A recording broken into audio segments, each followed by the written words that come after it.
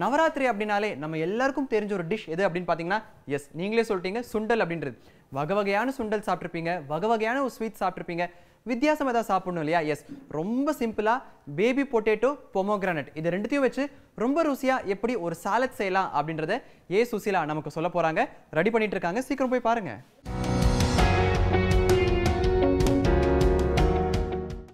இப்போ நம்ம பண்ண போகிறது வந்து baby potato pomegranate salad so இந்த பேபி பொட்டேட்டோ பாமக்ரனேட் சாலட் செய்கிறதுக்கு என்னென்ன பொருள் தேவைன்னு முதல்ல பார்த்துட்டு வந்துடலாம். வேக வச்ச உருளைக்கிழங்கு ஒன்றரை கப் மாதுளம் பழம் அரை கப் பொடியாக நறுக்கின வெங்காயம் கால் கப் தக்காளி கால் கப் புதினா இலை தேவைக்கேற்ப மிளகாய்த்தூள் ருசிக்கேற்ப சாட் மசாலா தூள் சிறிதளவு உப்பு ருசிக்கேற்ப ஜீரகத்தூள் சிறிதளவு எலுமிச்சம்பழ ஜூஸ் சிறிதளவு எண்ணெய் தேவைக்கேற்ப. முதல்ல ஒரு பவுல் எடுத்துட்டு இதில் தேவையான அளவுக்கு உருளைக்கிழங்கு முதல்ல ஆட் பண்ணிடுறேன்.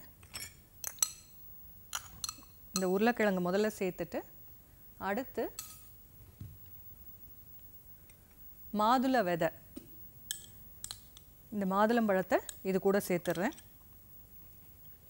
அடுத்து இதில் வெங்காயம் ஆட் பண்ணுறேன் ஒரு கால் கப் அளவுக்கு வெங்காயம் இருந்தால் போதும். இந்த வெங்காயம் சேர்த்துட்டு பொடியாக நறுக்கின தக்காளியையும் இது கூட ஆட் பண்ணிடுறேன்.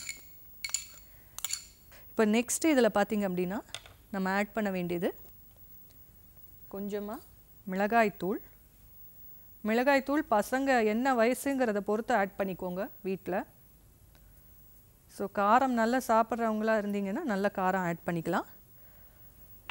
மிளகாய்த்தூள் ஆட் பண்ணிவிட்டு அடுத்து சாட் மசாலா தூள்.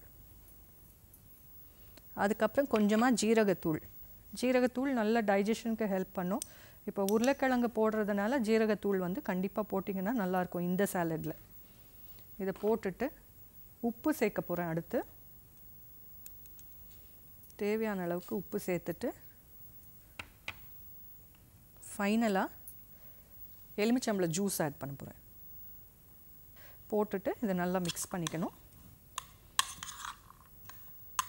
இதை மிக்ஸ் பண்ணிவிட்டு நான் கொஞ்சம் ஆயில் போடணும் அப்படின்னு சொல்லியிருக்கேன் இல்லையா? அந்த ஆயில் எதுக்கு அப்படின்னா சப்போஸ் நீங்கள் இதை வந்து ஒரு பார்ட்டிக்கோ எதுக்காகவாவது ரெடி பண்ணுறீங்க அப்படின்னா அந்த பார்ட்டி டைமுக்கு நீங்கள் ரெடி பண்ணி வச்சுருக்கிற இந்த டிஷ் வந்து ட்ரையாக ஆகிடக்கூடாது சாதாரணமாக உருளைக்கிழங்கு வந்து இந்த மாதிரி ஸ்பைசஸ் போட்டு லெமன் போட்டு மிக்ஸ் பண்ணி வைக்கும்போது ரொம்ப ட்ரை ஆகிடும் ஸோ ஒரு ஃபியூ ஹவர்ஸ் இந்த இது வந்து ஃப்ரெஷ்ஷாக இருக்கணும் அப்படின்னா ஜஸ்ட் ஒரு ஹாஃப் டீஸ்பூன் ஜாஸ்தி கிடையாது.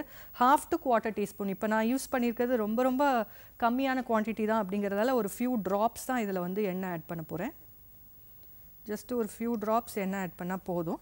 இது வந்து ஒரு கோட்டிங் கொடுக்கறதுக்கு ஒரு நல்ல பளபளப்பு வர்றதுக்காக தான் இந்த ஆயில் ஆட் பண்ணுறேன் ஸோ இதை நல்லா மிக்ஸ் பண்ணிவிட்டு லாஸ்ட்டாக புதினா இலை ஆட் பண்ண போகிறேன் இது வந்து ஒரு நல்ல க்ரீன் கலர் கொடுக்கறதுக்கு.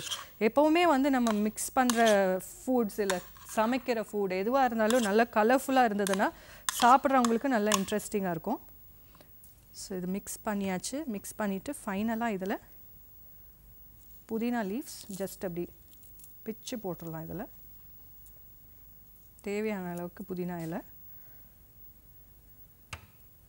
இதை போட்டுட்டு நல்லா மிக்ஸ் பண்ணிடுங்க.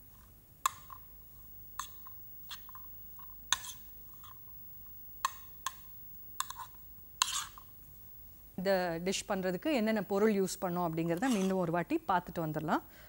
பேபி பொட்டேட்டோ பாமக்ரனேட் சாலட் செய்கிறதுக்கு தேவையான பொருட்கள் பேபி பொட்டேட்டோ ஒன்றரை கப் மாதுளம்பழம் முக்கால் கப் பொடியாக நறுக்கின வெங்காயம் கால் கப் தக்காளி கால் கப் புதினா இலை தேவைக்கேற்ப மிளகாய்த்தூள் ருசிக்கேற்ப சாட் மசாலா தூள் சிறிதளவு ஜீரகத்தூள் சிறிதளவு எலுமிச்சை சாறு தேவைக்கேற்ப உப்பு ருசிக்கேற்ப எண்ணெய் சிறிதளவு.